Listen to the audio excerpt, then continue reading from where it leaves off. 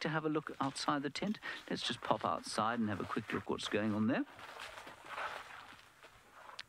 Here we are.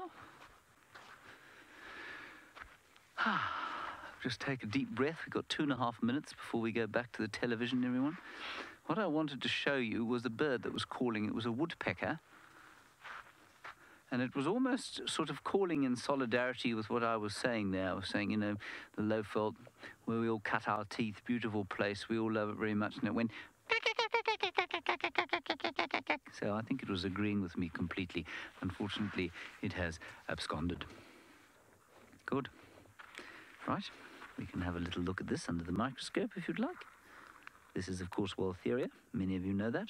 And tomorrow, I'm going to tell you that I will be looking for a thrip or two. Uh, that's not going to happen today, of course, because I know how much most of you are utterly in love with thrips. And so I thought I'd find one for the TV audience, if that's okay. Good. Right, we're going to hand you back over to Steph now, tracking, finding snakes. Let's see what he's got for you.